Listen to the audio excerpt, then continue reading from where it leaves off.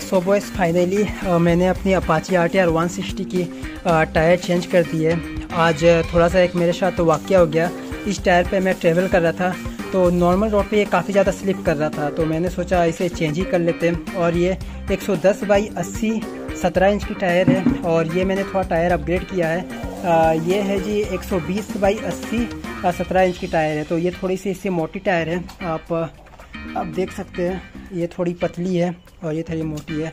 और ये ये अपोलो अल्फ़ा एश वन है रेडियल टायर है। इसको मुझे ट्वेंटी एट हंड्रेड रुपीज़ पड़ा है इसका कॉस्ट सो देखते हैं क्या होता है।